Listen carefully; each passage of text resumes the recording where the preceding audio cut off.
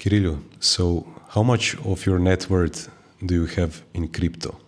So now it's 99.9%.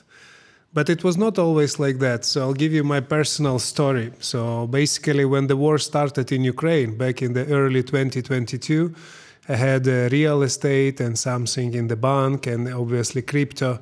But then we need to uh, we needed to go with my family like what we were having, just grabbing the documents and the kids jumping in the car and leaving the country the whole situation was crazy. Obviously, banks were not working, ATMs were not working, gas stations was not working because the people were fleeing out of the country. And through the customs, you cannot bring more than 10,000 euros always with you. So that's where the crypto demonstrated the new use case not just a charity when you can send uh, any money to everyone immediately without any borders, document, commissions, etc. But you, you are you're free to move your capital.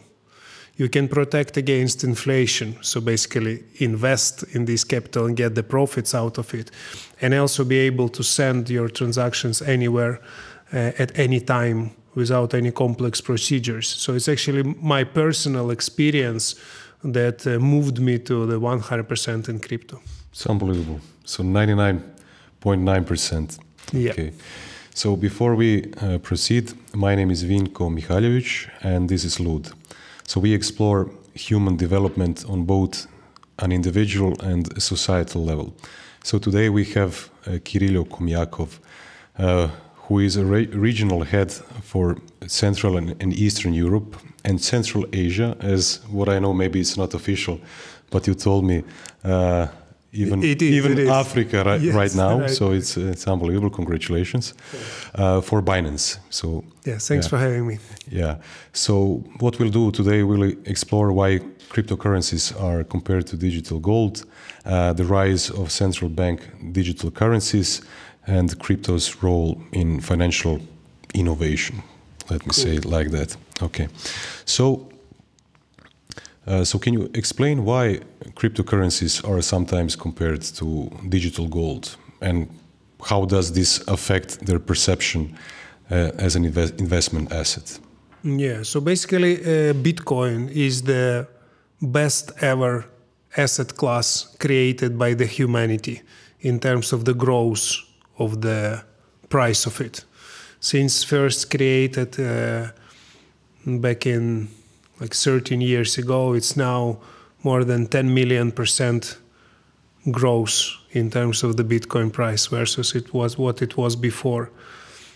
Uh, however, uh, it uh, has some risks too, because the crypto in general and Bitcoin in particular is quite a new assets class.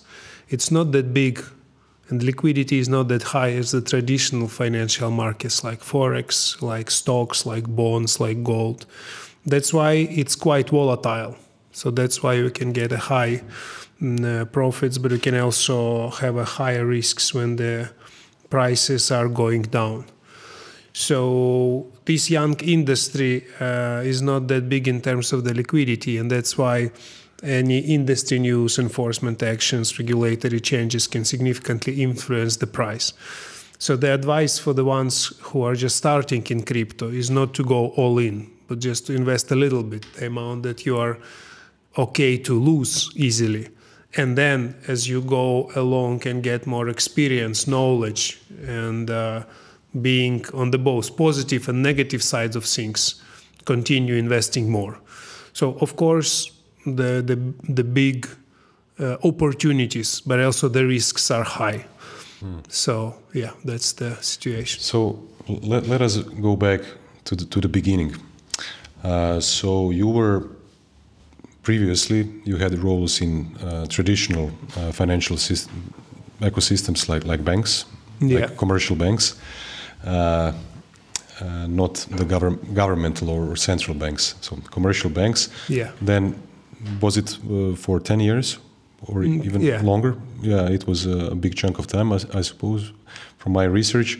And uh, you moved after that in, in fintech. Yeah.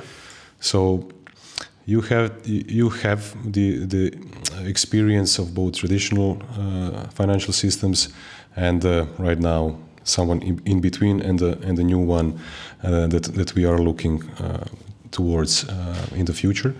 So, can you maybe maybe you're one of the best people to talk uh, about that? Then, can you do a simple breakdown? I know it's very hard to do so, but sim simple breakdown of what do you think that money is?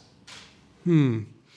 It's a very philosophical question, basically. But uh, uh, the, the, to, to put it simple, money is the result of the value that person is created. So the value you create for the society, the value you create for the humankind, is basically translated into the money that is given back to you for the value you deliver.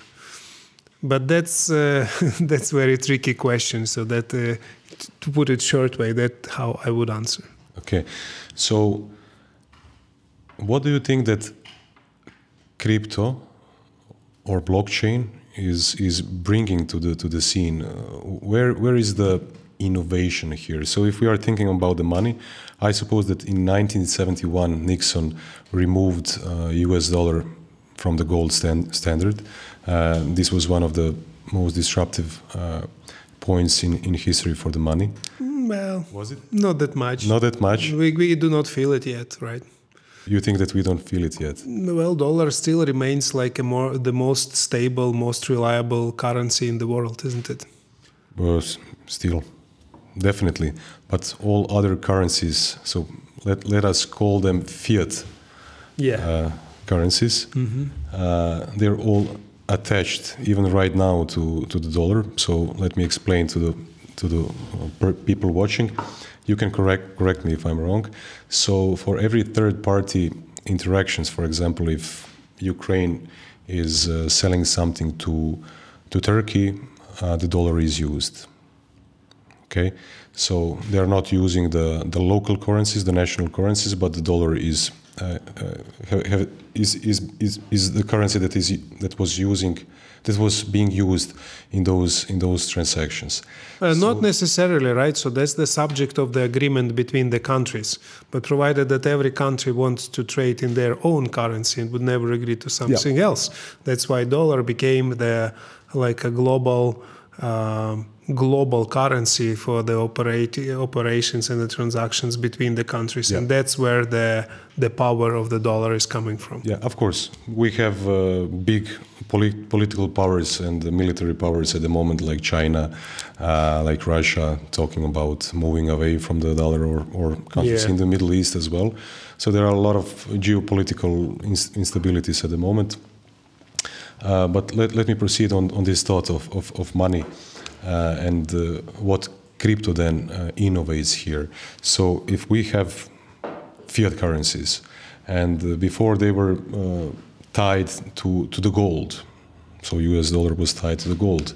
after 1971, so you had this possibility to, to print money. So whatever you think of when I say the term print money, so it's not really printing, but it's typing like like yeah. two of us were typing just before it's much easier to than the, than to actually print it yeah. yes that's right so uh, what what is really that for example crypto or especially uh, bitcoin innovating here when you're compare, comparing it uh, to the traditional fiat currencies or us dollar for example yeah i thought you will you will ask uh, that the dollar was backed by gold? What is Bitcoin backed by? So no, this so, is a good question as well. So Bitcoin, so Bitcoin is backed by mathematics, right? And this is something you cannot uh, doubt. So basically, all the uh, all the um, fiat currency, traditional currency, they are deflationary, right? So the governments are printing more and more money every day. Inflationary, inflationary. Yeah, Oh, sorry, I said inflation. Yeah, inflation. Inflationary. Yeah, but the mm, but the Bitcoin supply is finite. So there is basically just 21 million bitcoins, and this is never going to be more. And how many how many satoshis?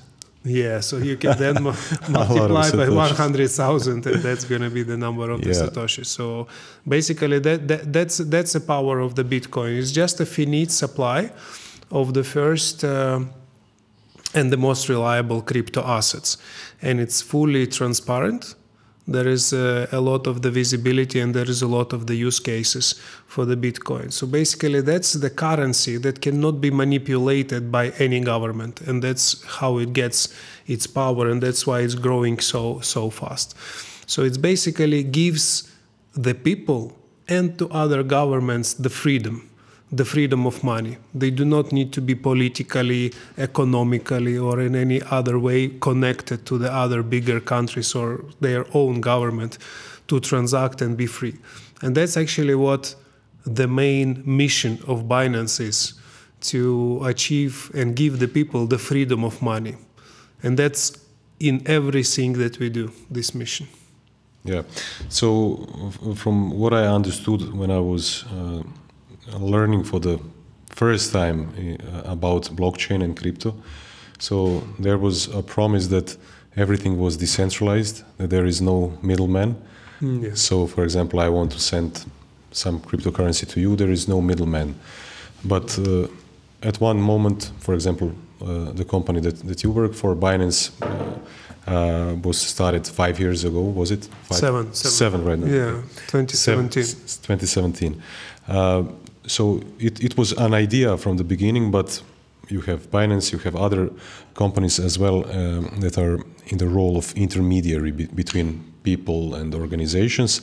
Uh, so how do you think? Uh, wh what do you think? Uh, uh was was was this? Uh, uh, what is the English word? promise still on, or or is it is it is it off? No, it's, uh, it's still on. In order to achieve the mass adoption, you need to give to the millions of people easy way to do it.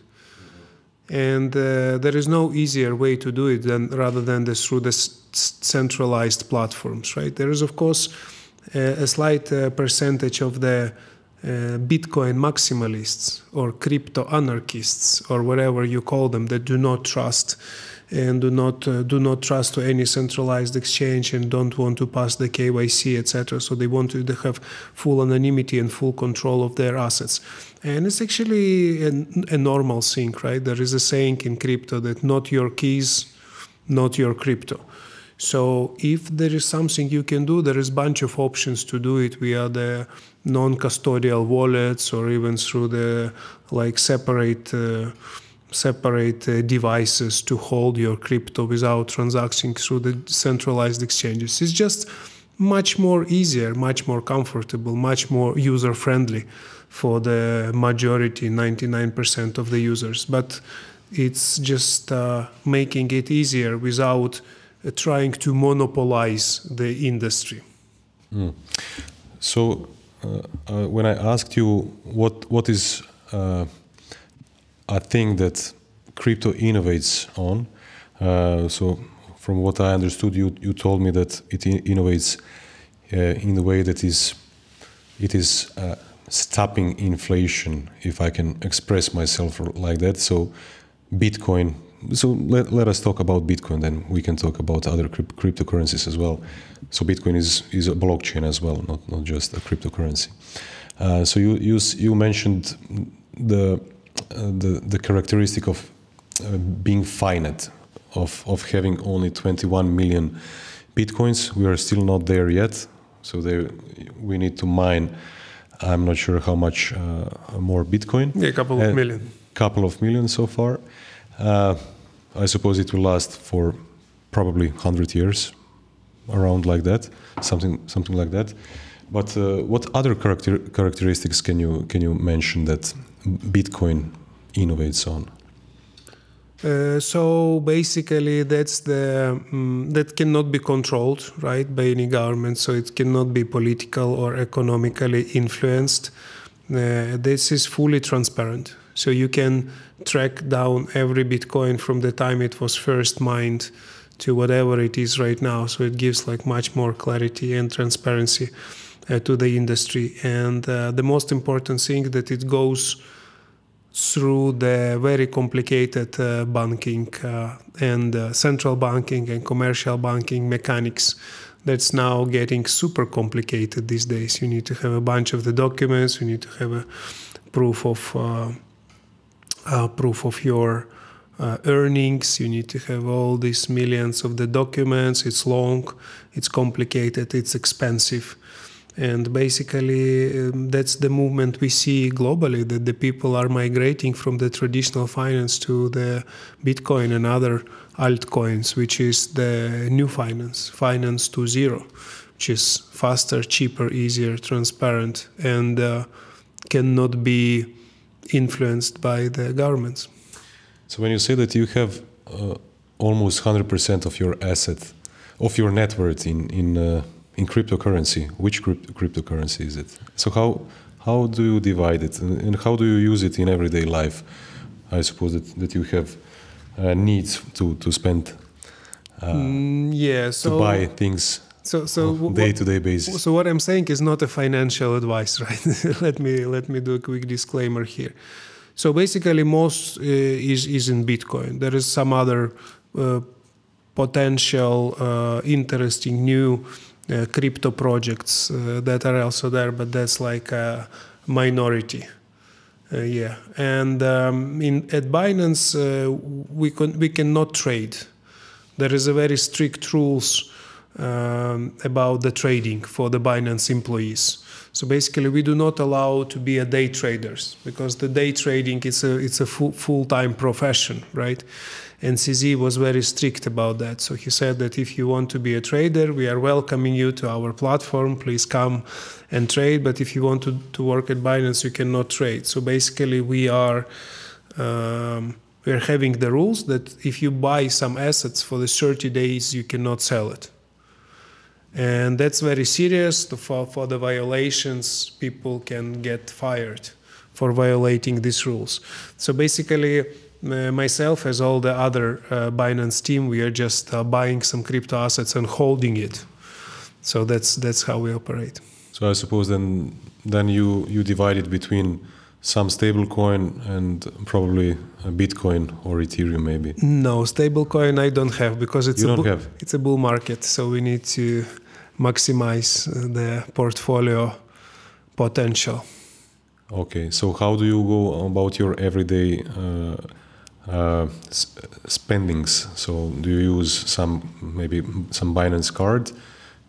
Oh, it's very easy. It's and uh, what what do you spend? Do you spend uh, Ethereum? Do you spend Bitcoin or do you spend stablecoin? No, I spend euro. I spend uh, Hungarian forints. There is a lot of the there is a lot of the methods now for the Binance users, both fiat and P2P. So if you want to sell any crypto, there is a bunch of options you have. You can directly send it to your card. You can send it via SEPA to your uh, banking account. You can use our P2P platform when the users are trading between uh, themselves, not through the uh, fiat providers. So there is uh, all these very cheap and very quick options how you can convert crypto to fiat and fiat to crypto. That's not a problem nowadays. You can also use um, the cards uh, schemes. Unfortunately, currently we have suspended a Binance card program in Europe.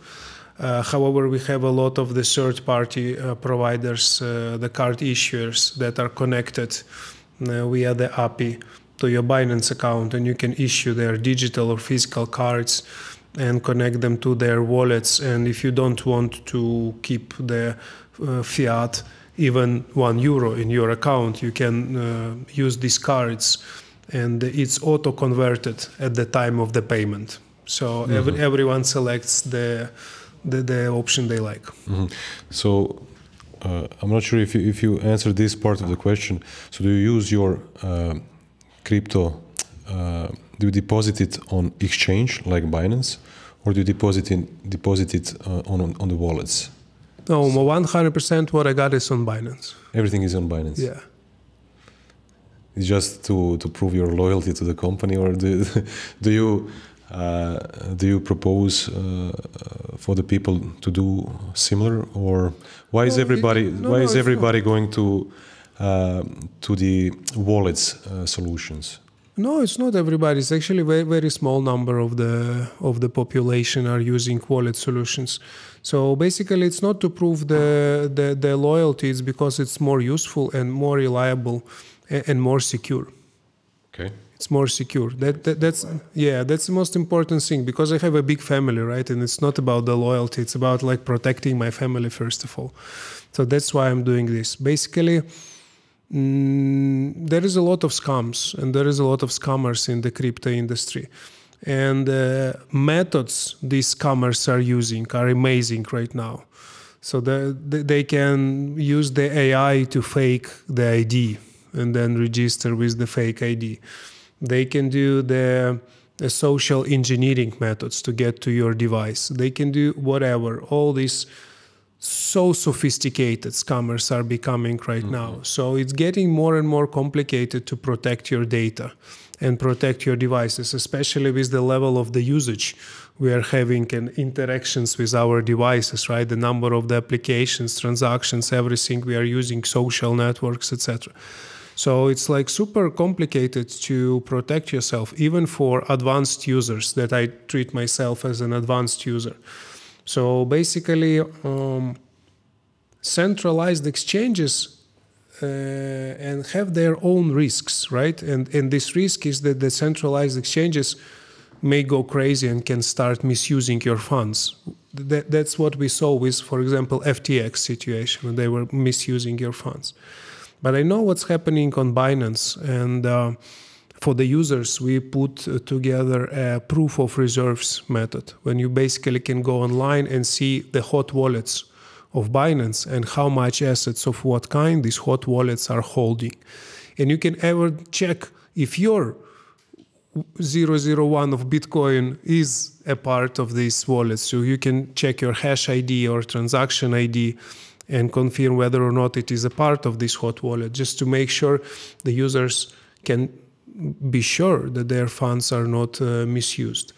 As well as we are having a, a very strong security that's being protected by so-called Binance Ledger. That's the security stack that protects us, but uh, we operate on the basic on the basis that any security can be breached and that's how we build uh, not just um, our security controls but also our teams so we have a 70 um, 70 crypto investigators that uh, partner with the law enforcement authorities around the globe i don't know if you heard but there was a recent scam with uh, ZKasino mm. the people that were doing the online gambling platform and they basically was uh, Mm, offering this uh, mm, uh, gambling and they scammed people for 30 million. So Binance, together with the law enforcement, helped to freeze these funds, and basically these guys were arrested. So we have a big team working with the mm, law enforcement. We have uh, hundreds of people of compliance that are working on the uh, AML, uh, KYC, uh, transactional monitoring things to protect our users. And we have a huge uh, customer support uh, desk that are using AI, etc. So these all pillars are focused on protecting users from the technology perspective, but also help you know prevent any other external uh, risk factors. So that's why I trust Binance. So what do you think uh, are the key differences between commercial banks and centralized exchanges for the crypto like like Binance. You mentioned some of the differences right now in the in your last answer, but maybe if you can mm, tell us. not much, right? But that's the same thing. But that's the in intermediaries for the people's transactions from the past and from the future. It's basically the same idea of the intermediary, right? To make people easily and freely transact to support their everyday needs of spending and receiving money. It's just the new technology, right? The new way of thinking. And uh, more importantly, the new way of operating and uh, the different uh, vision and mission. But the, the, the idea and the concept is the same. So basically, when we are talking about the crypto, uh, firstly, what we need to talk about is the technology that it was built on, uh, its blockchain. Mm. So what blockchain brings innovatively that we have not seen before? It brings transparency. It brings uh, decentralization. In, in, in which way transparency? Uh, so I, am sure that you heard, or there is so many uh, scammers in crypto. There is so many uh, illicit funds, uh, bribes, etc. But the funny thing is that if you compare the percent of the scam or illicit fund in crypto. And percent of the scam or illicit fund in the traditional financial system or percent of the illicit funds in cash that is going to be much, much way more bigger than in crypto because the crypto is transparent.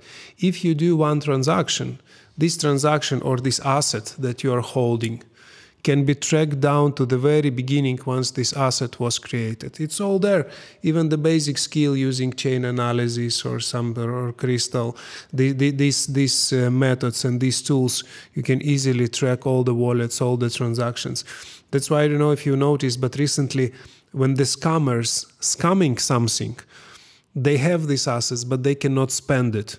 So that's why very often for a very small bounty of like 5 10%, they are returning everything that they were able to scam from the victim because there is no use for them. It's better for them to keep 5 or 10% rather than not be able to use all this money because this crypto can be marked as illicit fund and that's it. You cannot do anything with crypto. So it, it brings transparency it brings the new technology, it brings decentralized operations of the network, which is basically a lot of the validator rather than the one computer or one server where everything can be so managed. So the same information is distributed to all the computers on the network. Exactly, because you cannot delete any information or any uh, you know yeah, block, you block in in the in the blockchain that's already happened and that's why there is uh, zero potential for the manipulation you know, uh,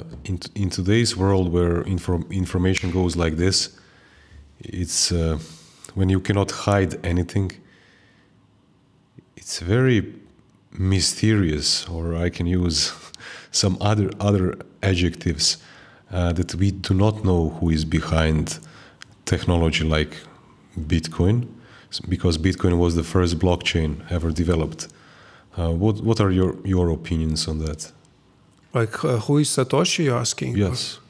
No. How, is, how is this possible that in today's age and age we don't, do not know who is behind one of the most important technolo technological innovations? Usually, people, when they invent something, everybody wants to say, I was the one who, do, who did this. But yeah. here, nobody comes and say this. There are people. there are people who are saying that they are Satoshi, but yeah, so that's that's the beauty of it, isn't it? It's uh, it's so cool uh, that it's truly decentralized. And even if the creator, which is obviously one of the brightest minds uh, living uh, in the, our in the previous century, uh, even without this creator and without uh, his knowledge, his expertise, technology not just live, but also develops and become really great. So that's the beauty of the blockchain, isn't it? It is the beauty, but uh, in some people, I suppose that it, it brings uh, emotions of untrustworthiness. For example, in the in the in the end, of course, technology works. It works. It's it's it's unbelievable, but uh, some people uh, that are a little bit harder to trust. Uh, maybe they are thinking that some governments are behind it, maybe some intergovernment uh, organizations uh, are behind it. You don't think about it, you just. Mm, and for these people, ETF was created. Yeah. So that's exactly why the ETF uh, come into the play to open the crypto market to the tra traditional finance and the traditional thinking. So the people who was afraid, was not ready, was not trusting to open account, to go through the KYC, or to have their own crypto and have their own keys. Now they can easily buy uh, this Bitcoin index through the ETFs offered by the big financial organizations like BlackRock, etc. And it's just the beginning of the trend. Basically, U.S. market is the biggest for the uh, liquidity globally, but uh, we can see other markets are following. So Hong Kong started this, uh, South Korea starting this soon, and I'm sure the others will follow. And that's a big, big thing for crypto because it opens the doors not just for people who distrust, but also for traditional financial institutions, for uh, funds, for pension funds, for these people that are sit, sitting on the bags of money and will start investing into crypto too. What do you think that it, it is a, a better move to, to invent something like blockchain and crypto and disappear? uh, we, what, what is the bigger, bigger gangster move? Uh, to disappear, like, for example, Satoshi, if he's a, only one person or maybe team of people, or to to say that you are the, the one behind it. Maybe this is this is even the bigger gangster move to to disappear and not not be there. Well, I think he disappeared because something happened to him. You think so? Yeah, that's what that, that's the only reason I see. Satoshi still uh, remains one of the uh, most uh, the, the richest people in the world, right? For the number of the Bitcoin he's holding in his wallet. But I think. Uh, How much does he hold? I think he's in the top 20 global. It's around like 60 or 70 billion dollars is his uh, the, the, the, the, current price of his wallet. Uh, but it's not been moving since basically his last tweet. Yeah. So but but but I don't think that he like made the move right. So the the the industry is working, the the technology is working for every one of us of ours benefit. Uh, are you aware of a person called Michael Saylor? Sure. Uh, what do you think about him and uh, his philosophy and uh, thoughts about Bitcoin? Oh, I love it. I love him. I think he's a great guy. So his favorite saying is like, uh, mm, when are you going to be selling your Bitcoin? So there is one rule in Bitcoin: you never sell your Bitcoin. That's what he says, and I think he has a brilliant idea, right? So he just uh, buying Bitcoin and he's going to the uh, traditional markets and he's issuing more debt, he's issue, issuing more shares, and he's getting more traditional financial money and move it to the Bitcoin again. So that's a great combination between person that really trusts and move the crypto industry forward and benefits from the traditional financial money via this uh, corporatization mechanism. So I, I, think he's one of the uh, great guys in the industry.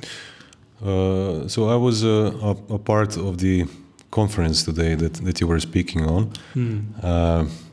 and I was uh, listening what what you were speaking about. can you tell me about safety in in this world in cryptocurrency, blockchain? so what is um, Binance doing right now. Uh, uh, I suppose that this is your biggest role. This is your primary role in, in the in the company, uh, not just safety but compliance to the governments and relationship with the governments and uh, making sure that everything fits correctly on, on the regulation side. So you said security and then compliance. That are two different yeah, things. Let's let, let's let's start with with compliance then. Yeah. So compliance is a big thing, basically the biggest thing for the crypto industry right now. So initially, back into 2017, 2019, there was no compliance, there was no regulation, that was nothing because everyone thought it is just a joke and then uh, it, it will not move on and it will like a new hype it will go away after a couple of years but when the governments understood that this is not, this will not go away, despite the fact all the negative things they were doing for the uh, crypto, uh, and they understood that this is big and it is getting bigger quite fast. Uh, they started to think how to regulate it, which is basically a good thing to do, right? Because government needs to to to protect their people, their users. and that's where uh, the compliance thing started and when the compliance became really really important for the industry so basically uh, all the stakeholders which is government organizations businesses like ours and the users we want all one thing we want to have crystal clear framework the set of rules where we all agree to follow this will remove all the misunderstandings and we all will go together ahead. So that's what the governments are trying to achieve. But provided that's that's a new industry, it's not goes without uh, mistakes, without delays, without disagreement between the stakeholders. But eventually, I'm sure uh, we will get there, and the crypto will be regulated as a traditional finance right now, and we're all gonna work in the uh, very uh, clear clear set of rules. Uh, but every government takes their own very different approach to the compliance and regulations. And for the global organization like ours, it's a challenge to follow the specific requirements in every country, which is very, very different, even in every European country. It's very, very different, right? So we need to be uh, we need to be aware of all the news, we need to be aware of all the laws, and we need to work with the regulators in every country to support them and help them as the industry leader, basically, to uh, be competitive in this compliance market because the, the, the, industry is not just exchanges and trading. There's billions and billions of dollars that are being invested in the new Web3 projects. And for this project to sel- for these projects to select one or another regulation, so one or another country, and basically create jobs, start paying taxes for this these projects are selecting lower taxes and clearer regulation. So there is a big competition between the countries in the world and even between the countries in Europe who will make more user friendly, business friendly regulation that will attract more businesses, more crypto businesses to come and build in this specific country. So that's the processes are going on in compliance space. Is, is this your main role in, in the in the company at the moment in, in those countries that, that you're responsible for? Yes and no. My main role is the growth and marketing. So I enable uh, community growth, crypto adoption, and the growth of our business in all our countries. And in the countries where we have regulation existing or coming, we have uh, help from the regulatory compliance team that helps us to work with the regulators in this space. Mm-hmm. So, can you tell me what, what is the difference between regulation in commercial banks and crypto exchanges like Binance? Is there some difference, or the rules are the same? So that, that's what I'm saying. Very different per country, right? So here in Europe, mm, we will finally have one regulation across Europe. Yeah, I understand that, but uh, I suppose that the regulations uh, in the context of uh, commercial banks are the same in European Union, uh, country by country. Traditional finance is one of the most regulated, uh, mm, like uh, industries globally, maybe along with pharmaceuticals. So it's a very regulated industry, and I think that the where, where MiCA gets us is to the same space. So very, very regulated, uh, very strengthened uh, rules. So eventually, crypto uh, trading companies like ours will be more or less the same way regulated as banks. So I, I wanted to ask you something, but then my mind went blank uh, a few moments ago uh, I remember it right now. So I was we were talking about uh, Michael Saylor, uh, and uh, you, you, mentioned ETFs a uh, few moments uh, before that. So I was I was thinking, for example, if a person who is not well educated or is a, is a pro user like like yourself, for example, and uh, he wants to invest in Bitcoin. Uh, I, I had a thought that maybe it's it's best it's better idea not to invest directly into Bitcoin or to in, into ETFs, but really to invest in MicroStrategy, which is the company of Michael Saylor, because in my knowledge, he he he is uh, the biggest holder of Bitcoin right now. He as as a person, and his company, MicroStrategy. And when you see his uh, average price uh, of of the Bitcoin that that he has uh, at the moment, it's I think it's around twenty-five to thirty thousand dollars, something like that. No, he is not the biggest. He is in the top five. The biggest was GBTC, the grayscale BTC fund that was offering the futures, uh, and the second one is U.S. government. Okay. Yeah, because they seized a lot of the BTC in the past from the different enforcement actions, but and, and they still hold it. Mm, yeah. So, So Mike, this, this is just a prom- promotional. so Michael Saylor is, is somewhere in the in the top five, yes, and uh, basically his average price is above uh, fifty five or Is so, it? so- yes, it is. So it's just he, he, he has crossed this break even point recently on the uh, uh, in, in March, just in March. But when the Bitcoin started growing ahead of six above sixty, he started to show the paper profits of billions and billions and billions every day. So yes, I think it's it's somewhere around 56 or 57. I might be wrong, but for a small number. So yeah, uh, and you can right. You can uh, buy the MicroStrategy uh, stocks. I think it's available for both U.S. people or, or here people in Europe. But uh, can someone in Ukraine buy it? No. Can someone in Africa buy it, or in China, or in Indonesia? The answer is no. And whether or not uh, his stocks are going to be growing the same fast as the Bitcoin if you buy it, most probably that's also a questionable mm, thing. So, but but but you you're right. Everyone is investing uh, in a way that the person feel comfortable right you can buy bitcoin you can hold it yourself you can hold it with centralized exchanges you can hold it uh, with the wallet with the ledger wallet with the etf with the stocks of someone who invests in the bitcoin there's all this bunch of options now available Yeah, I suppose that. Uh, so, for example, at the moment in Croatia, it's it's it's it's safe uh, period. So we don't we do not have wars, and uh, so the last war here in the Balkans were was in 1991, lasted uh, for for a few years, and uh, it's it's funny how people fast. When I say fast, it's 30 years. They forget that it, it is a real possibility. Right now, for example, you in U- Ukraine, you know that is yeah a real uh, possibility.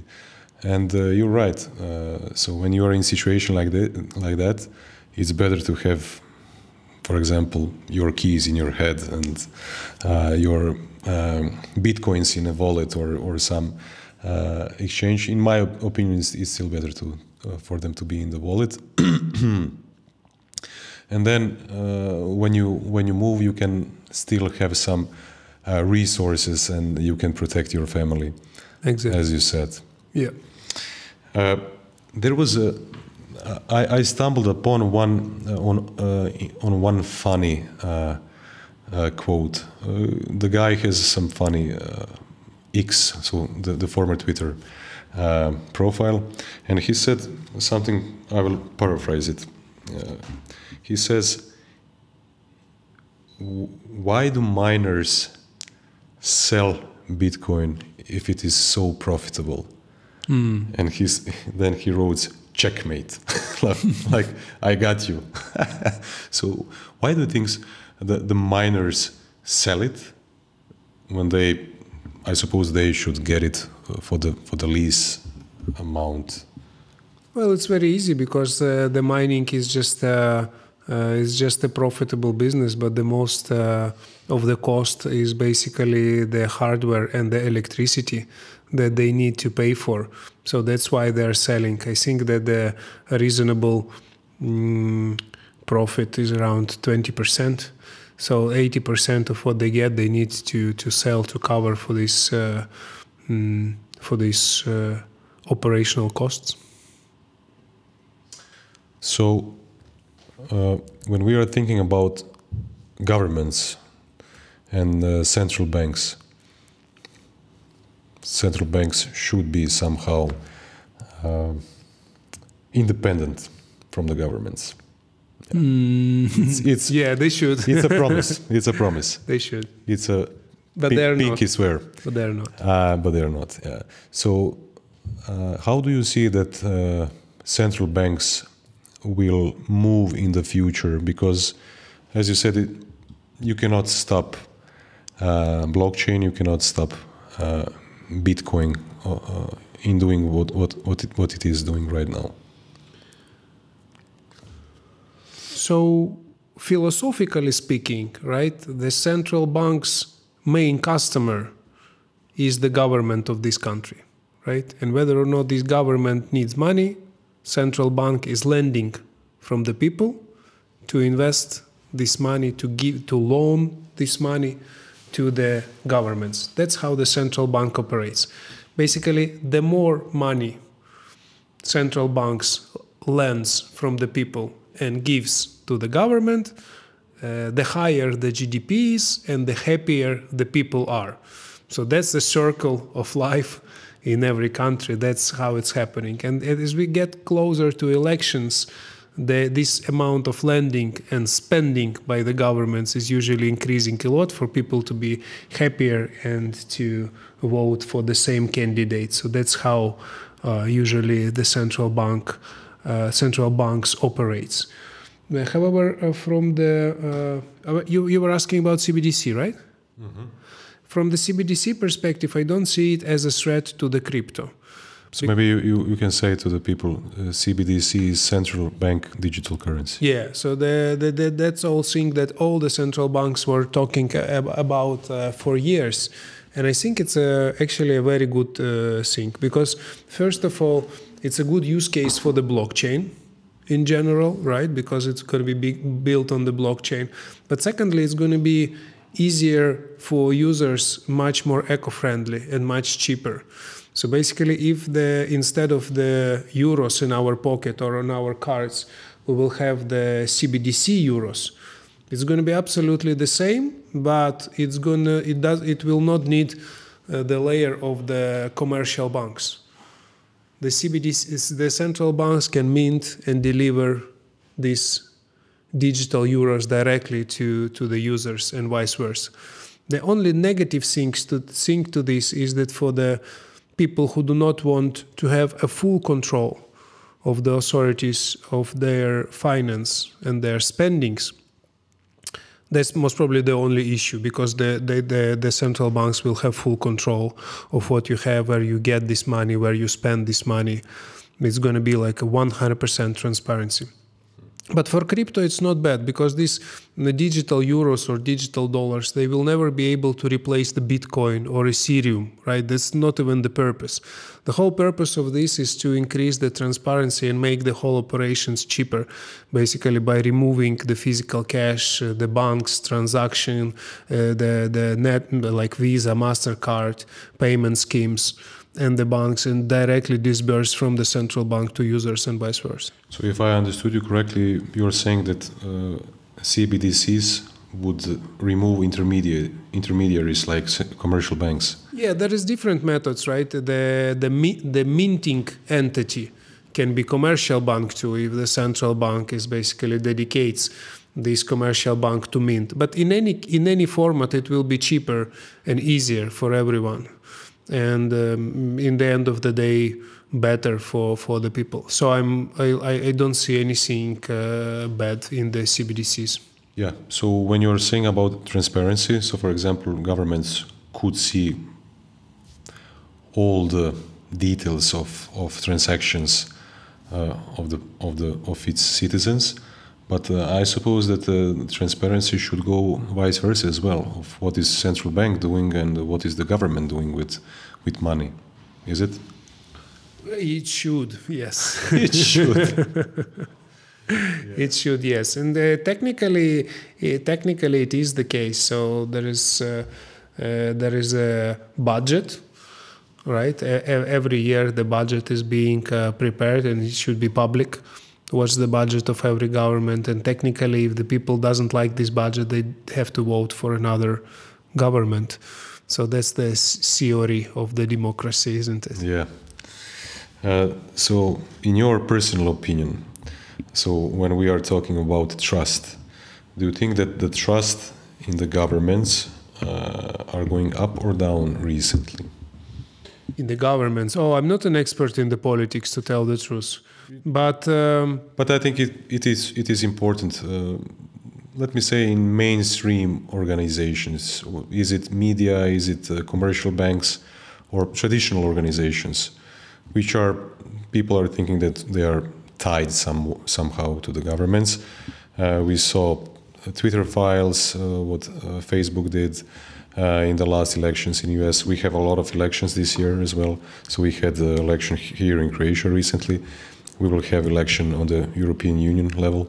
Uh, we, we, will have election in USA, uh, in India. So a lot of things could possibly change in the in this year. Yeah. Do so you see trust going up or down? macroeconomically speaking and macro politically speaking, uh, the trust in the governments and of the overall uh, democracy societies is the highest ever, all time high. Really? Right now. Because if we zoom out a little bit and see what was happening like 50 years ago, it was a complete chaos, right? The people were very poor, there was no access to the education uh, we, we could not even imagine the level of the quality of life we are having right now. Like uh, hot, hot shower, even kings were not having it, right, 100 years ago. So the level of the comf- comfort for the humanity that we are having right now, the level of the amount of work we need to do to get these basic things, and the level of the mm, how easy it is to live these days is unimaginable right now. And this all happens because of this um, concept of the social trust between people and the governments. And that's what's uh, happening right now. So, despite all these elections, some turbulence, the level of the trust to these systems that we are having right now is the highest ever. However, it's quite fragile right? And we think it's like very very stable, nothing can happen, but a lot of things can happen very very quick. So I think we need to respect what we are having right now and protect it. Mm-hmm. Yeah, in, when when we are talking about uh, conformity, is is that a good word? Yeah. Uh, being comfortable, for example. Uh, you're absolutely right, but uh, somehow uh, your perspective is uh, or your perception is much different than mine. Mm. Uh, so it's very refreshing to me to see that a person of your caliber has this opinion that the trust in, in governments is on all-time high at the moment. Yes. It's interesting uh, thought. Uh, but uh, okay, uh, how do you think that all those uh, global economic ch changes, political political changes, could affect uh, the industry that, that you're in. For example, the Bitcoin or central exchanges, blockchain, and things like that. So technically, I shouldn't comment on the US, but I cannot hold on uh, doing this. Uh, basically, uh, and that's only my personal opinion. That's not a Binance position or anything like that. So all the uh, eyes of the uh, global Mm, global uh, politically active community are tied to the uh, elections in US, right?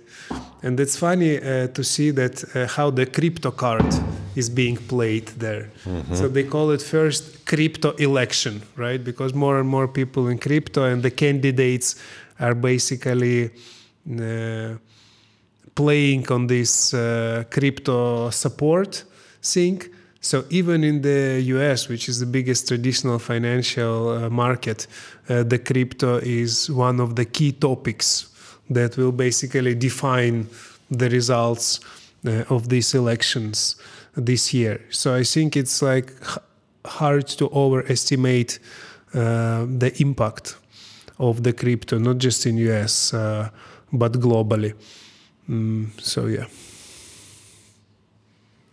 So, what what is a thing that you think about every day uh, I'm talking about the context of, of your business and your industry, uh, but the regular regu regular person does not see yet. Maybe you can give us some hint where to look at. So uh, Binance, since the creation uh, in uh, August 2017, became the first global crypto exchange by the December the same year. And by now, Binance is the biggest growing startup in the world ever created in all the industries. And uh, that's a phenomenon, right? So how do you how, how do you achieve it? What capabilities CZ, the founder team, or the operational team was having to achieve these amazing results? And I think the quick answer to this question is that we really put our users first. So the key thing in everything that we are doing, starting from giving this interview, ending with the building uh, new products and uh, mm, getting the new licenses across the globe, is focused on what our users need. Whether or not it will help our users to achieve something, whether or not it will make them more comfortable, how does it solve their everyday problem? So I think th th that's the key to our success, and that is our secret sauce how the Binance was able to perform. And all the employees uh, within Binance are basically uh, breathing this idea, including myself. So whenever I travel, whenever I, uh, and this is what keeps me up at night, I'm just thinking, what else do I need to give our users? How else I need to make this community together, give them the meetup, understand more their needs, or, or solve some individual user problem that cannot have an answer from the customer support to, to help them like uh, using crypto better. So that's uh, the cornerstone of everything our company and myself are doing. Uh, I'm not sure if I got the answer. So I was asking if what is the thing that you are thinking about every day that the regular person does not see that could help this regular person in the context of, of blockchain uh, crypto so that's, that, that, that's what I'm saying. Basically, we are getting this feedback from other users, and we are channeling this feedback inside our organization, whether it is to compliance, to product, to the tech, to security, uh, to, to any other teams, so that we do our work better every day. So, for example, user does not know how to withdraw his Bitcoin and having the high commission, etc. We give them the, the Binance card user is struggling to apply the best trading strategies because it's a new user. So we give them the copy trading so that they can copy uh, copy the big traders' strategy, mm-hmm. uh, earn money, and also learn on that. Or basically, Balkans users they cannot uh, they were not being able to use Binance app on their native language, so they're str- str- struggling with English. So we give them the local language, or they miss this community feeling. We give them the first ever local meetup. So these type of things we are thinking about the users. They might not see it every day, but they get it as the result based on the feedback of our other users. Mm. So, uh, what would you like to see uh, in the future that Binance or other exchanges would tackle uh, to bring more ease of use in this in this industry in your in your platforms or in the whole ecosystem, not not just the platform? What do you think that uh, still frustrates the users? That it could be simpler yeah, that's a, that's a great question. So basically, for the crypto adoption, we need to have a more engagement with our partners. So with the banks, with the retail, with the regulators. So crypto needs to become not something complicated or, or something new, but the, the, the main means of payment, something that is secured, protected, regulated, available, and cheap. And that's how we can build the crypto adoption, and that's how we can get to 1 billion users.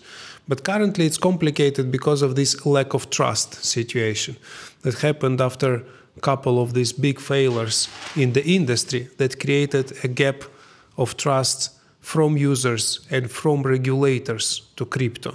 And unfortunately, it's thrown back our industry a couple of years behind.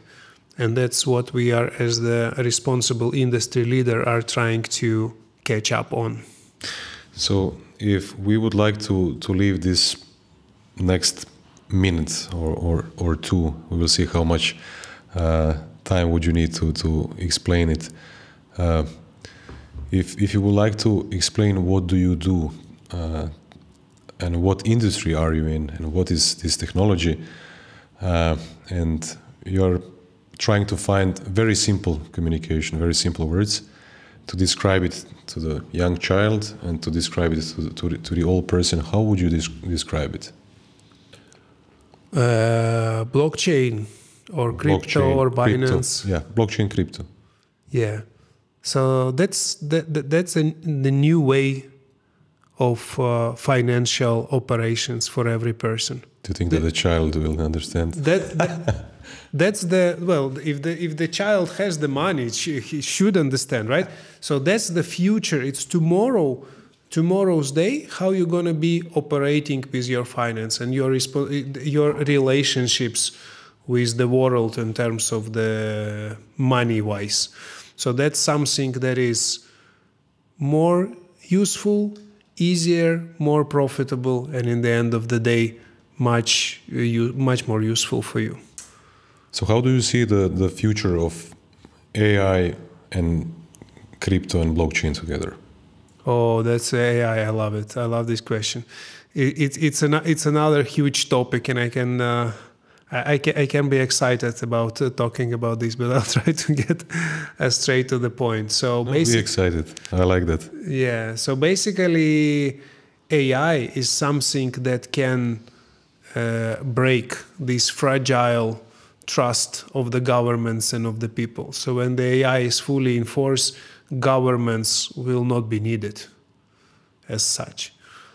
However, the only way uh, AI can operate as the new way of life, if you will, right? If you if you would like to consider it like this, or as a new way of the of the consciousness, the only way how it can operate is only through the blockchain. There is no other way. Because AI to operate needs just one thing, right? It needs computer power. And in order to procure this computer power, it needs the payment. And basically, AI cannot open the bank account, right? Because it will not pass the KYC. The only way for AI to buy this life power, which is a computer power, is through the blockchain. So there was one interesting. Um, can you can you can you expand a little bit because it yeah. it was very uh, interesting thought. So you said, can you repeat from the from the beginning? So you you brought up the words consciousness, blockchain, and AI in one sentence. Yeah. Can you can you break it down a little bit more? Uh, I'll, I'll, gi- give you an example, right? So there was a task uh, of uh, to AI uh, that says um, take one thousand dollars and earn one million on Amazon. And AI can easily uh, evaluate what's interesting to the to the users of Amazon where these goods can be produced, how to uh, find the producer in China of these goods, how to contract, how to arrange the logistics, how to sell it in the Amazon, and how earn from $1,000, $1 million. AI can do all of this without human interactions, except of one thing it cannot open a banking account because banking account is only available for either an individual person or the company created by this individual person. So I cannot open the banking account. But if you can imagine the same business model of AI, uh, and let's say we want the AI will, will will want to do something. Let's say it's AI who is uh, making uh, the podcasts uh, with some interesting guests. So this AI, the only option for this AI to operate would be to charge these guests or the viewers, depends on the business model, in blockchain, and for this blockchain buy computing power to develop itself. And the only way to do it is through the blockchain. There is no other way for AI to be developed except of getting this life power, computer power through the blockchain financial system. The re- the reality is getting even more weir- weirder for me right now. So, yeah, We all need to be careful. yeah. Uh, so, okay, I will I will go in that direction. So listen to me carefully. So, of course, uh, the left, uh, United States, like Elon calls it, the wo- woke mind virus. Uh, so we are even right now. Right now, we are even uh, thinking about uh, the most fundamental human ideas or facts. What is a man? What is a woman? Things like that.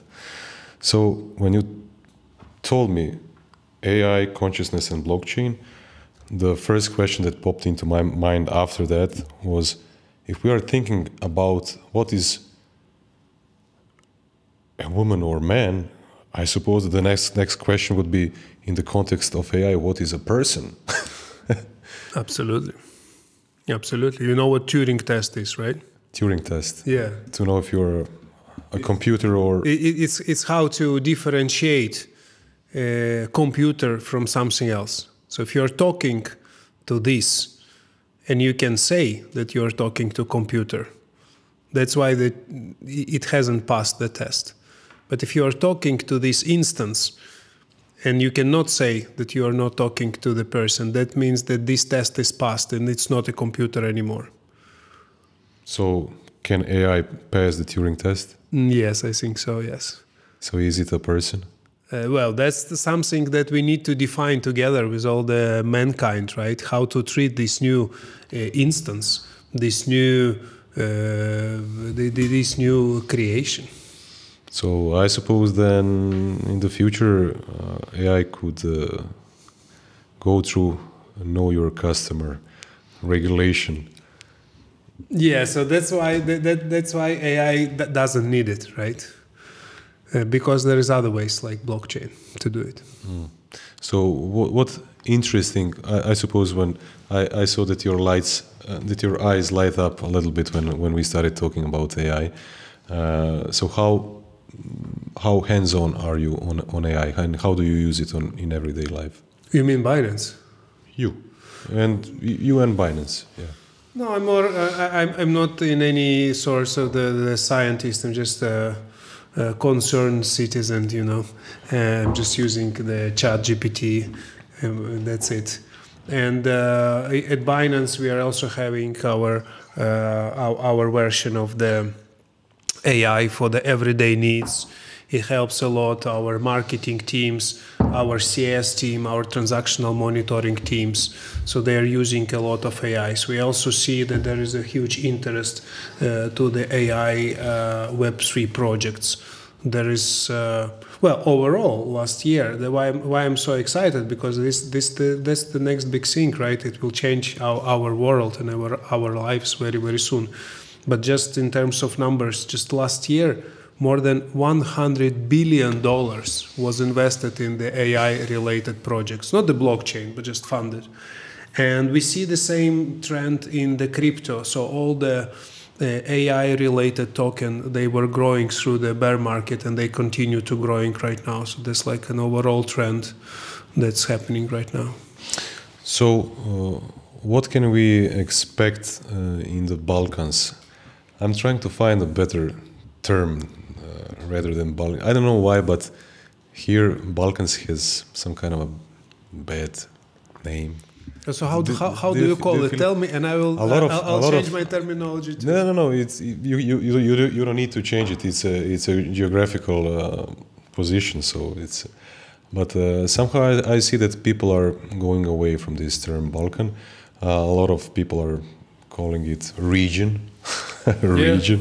For example, when we are talking about Slovenia, Serbia, Bosnia, uh, so ex ex Yugoslavia countries.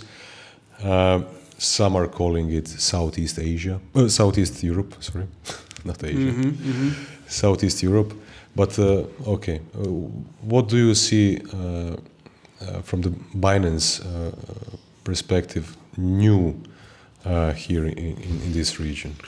We have a lot of plans, and first of all, this is to localize our presence and to give like maximum comfort and the community feeling to our local users. So we're going to localize our app and web language shortly. We're going to localize all the uh, Binance Academy courses by the midsummer. We're going to do two local meetups for our community in Q3 and Q4. One on the seashore and another one uh, here in Zagreb in Q4. Uh, we are going to uh, we already created our local social media in the local languages. Mm, um, what else? Uh, we, we're going to invest a lot on, in the uh, in the education. We think it's a it's a big thing and, and it's the value we need to give our users. So we're going to be doing the projects like a crypto school that's uh, will be done in the local language for the newbies in crypto. That's uh, based on the learn and earn basis. So basically, you will have a set of the connected courses for four, five, six hours. And after every course, you will have a small test. If you pass the test, you get some USDT to your account. So it will motivate you to know better crypto because before you really start investing. So I want to protect our users, right? First of all, to for them to be successful. So this type of things. Hmm. Very exciting things. Uh, so, how often are, uh, are you personally here in, the, in this part of the world? It's actually my first time here because because to my region, uh, Balkans uh, joined just recently. So Balkans joined to CE, Central and Eastern Europe, within uh, Binance. We reshaped it uh, just a few months ago. So we started with uh, getting uh, the right team together to manage it, uh, who is who are the uh, local speaking team, and uh, we started to build on that provided the experience we were having in another country to make it a success uh, quite uh, quickly. So it's actually my first time in Croatia because uh, it was out of my region just a few months ago, but I really love it and I hope to be here as soon as possible, not just in Zagreb, but in other parts of Croatia too. Yeah, I think that you will love it. So, uh, it, it is an interesting question for me. Uh, when you think of Croatia, what what, first, uh, what are the first thoughts that, that pop into your mind? The dragons, Dragons, really? the Game of Thrones, isn't it? Yeah, this is the first thing, really. No, no, I'm joking. I, I, I just wanted to be on the seashore for quite a while. So the places like Split, Dubrovnik, uh, these type of things. I heard a lot about the Mediterranean uh, cuisine in Croatia, beautiful, warm um, a sea, etc. So now I will also come with my family for the vacation this summer.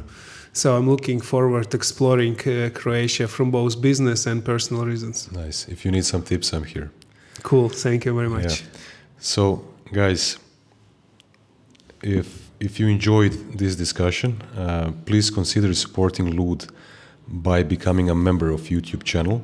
Uh, membership starts at 4.99 a month and gives you an, gives you an access to exclusive content, early episode access, and the ability to ask questions uh, directly to, to our guests. Uh, details are in the video description.